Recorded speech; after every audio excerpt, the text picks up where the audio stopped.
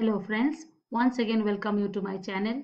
So in our last video we have seen that how uh, that reading from a memory or writing into the memory is performed. Because whenever we perform any whenever we execute any instruction then we are going to perform some basic operations repeatedly. Maybe reading from memory writing into the memory transfer between registers and the ALU operation. So next today we will see how one ALU operation is performed so see, uh, to perform your ALU operation, see this diagram because everything we are going to discuss with respect to the single bus CPU organization. So in this diagram, see your ALU is going to perform the operation and the two inputs of the ALU are A and B and the value of B input is coming from the bus. So whatever is there on the bus, it is always available on the B input, but it is not going to create any harm why it is not going to create any harm? Because we are not going to give any signal to the ALU if it is not an ALU operation. Some value is there on the bus that is available on the B input. Here also some input is there because select line will be either 0 or 1 so either constant 4 or the value of Y register will be there on the A input. So these inputs are the values on the inputs are available. But it will not do any operation until and unless it receives and signal over these lines right?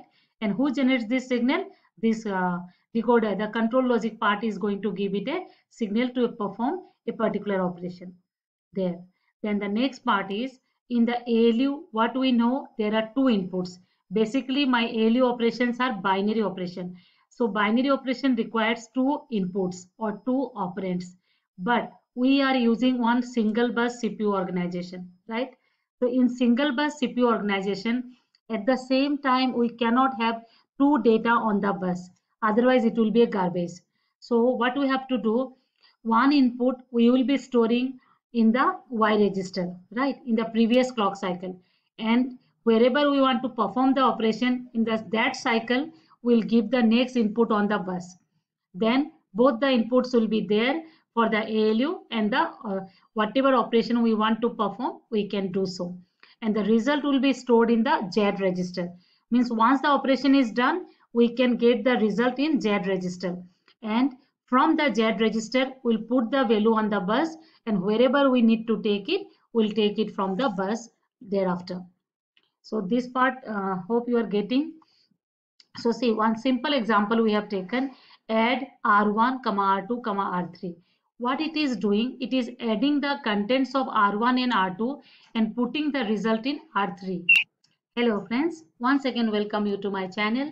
So in our last video we have seen how to perform that reading from memory or fetching one operand from memory or storing an operand result in uh, storing the result into your memory location. That we have seen in our last video. And Today we are going to see how to perform an ALU operation because whenever we perform an instruction or I should say when we execute an instruction basically we are going to do some transfer between registers or reading from memory, writing into memory or a ALU operation. So these four operations will understand properly then we will slowly move to execute a complete instruction. So first now we will see how to perform an ALU operation. So what we know, our ALU operation is nothing but mostly it is a binary operation. So in the ALU, there are two inputs. You can see that A and B. And whatever concept we are discussing, we are discussing with respect to single bus CPU organization. Over a single set of wires, all the components present inside the CPU are connected.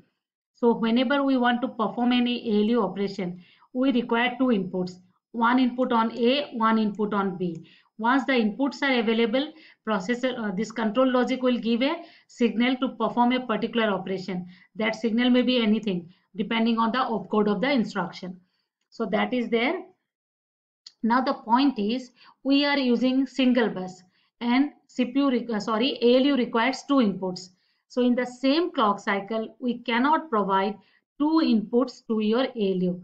So what we will do, we, we are going to use one temporary register. In the temporary register, we'll put one of the operand and the another operand in the next clock cycle only will give it on the bus.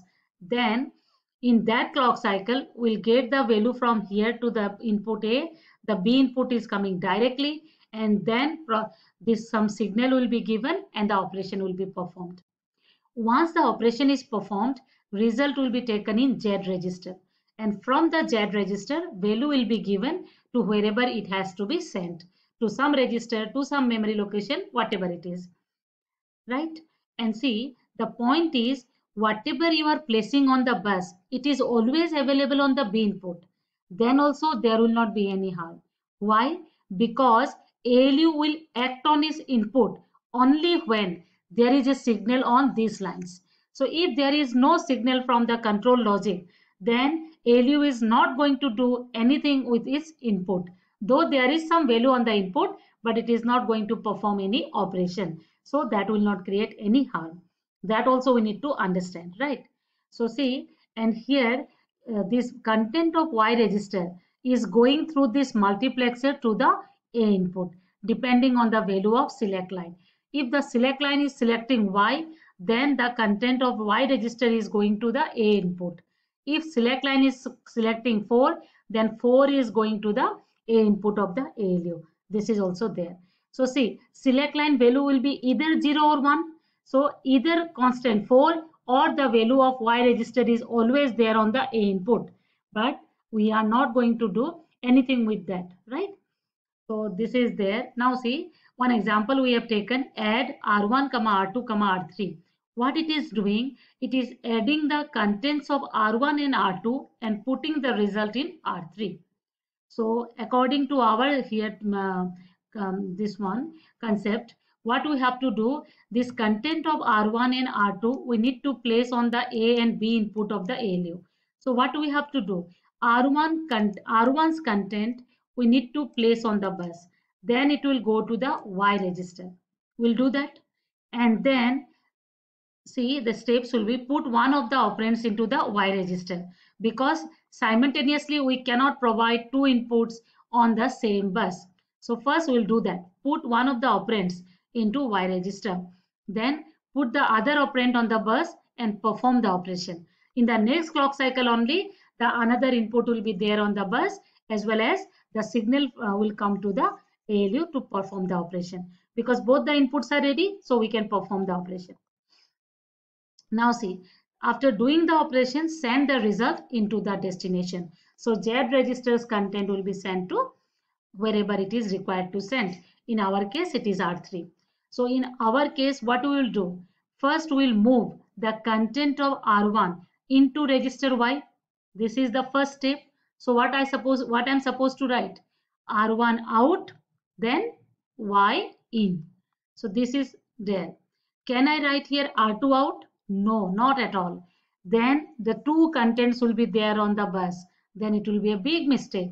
See, why I am going to next step, please understand that whatever I cannot do simultaneously. For that only I am going to the next step.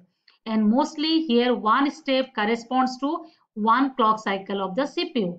But it is not true always. When it is not true always, whenever there is a WMFC. When you will come out of your waiting state, that depends on the speed of the memory you are connected to.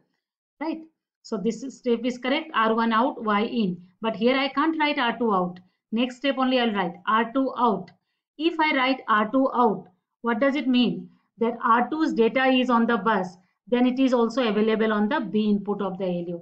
Should I write B in? No, not at all. Why? Because B is not a register. B is the name of your input. So here, whatever is there on the bus, it is available on the B input of the ALU. No need to write B in. In and out are the signals associated with registers, not with the names of the input. So that also you need to remember. R2 out means it is there on B input. Where is my next input? In Y register. From Y register, I need to get it into what? My A input, right? So what I will do, whatever is there on Y register, it is connected to the MUX also, multiplexer also. So now the job of multiplexer is to select this Y. When it will select Y, the value will go to the A input of the ALU. So what I will write? Select Y. Select Y will select the value from the Y register as the output of the multiplexer. So now A input is also getting its input. So both the inputs are ready in front of your ALU. So now what I can do? I can perform my add operation. So I'll give the add signal. In the same clock cycle I will give, right? So the uh, values are there on the A and B input. Now add and then after addition operation by the end of the clock cycle result will be ready and that result will be transferred to Z register. For that Z in. So Z in will hold the result of your addition process. Done. Can I write here Z out? No, because Z out will do what? Will put the value on the bus and that I need to take it to R3. So already in the same clock cycle it was done R2 out. So R2 out is done in the beginning. Z out we cannot do in the same clock cycle, right? Because by the end of the clock cycle only Z register is going to get the value of your addition result, right? And the another point is two out operation we should not do in the same clock cycle, right? So Z out, we will do Z out. Then the addition result will be placed on the bus, right? Because that was available in the previous clock cycles by the end only. Now in the next clock cycle beginning, we have put the value on the bus and then it will be transferred to what? R3 out, R3 in. So R3 in means by the end of the clock cycle, the value will enter into register R3. So this much only we need to do as part of the execution of this instruction, right? So hope this one is clear.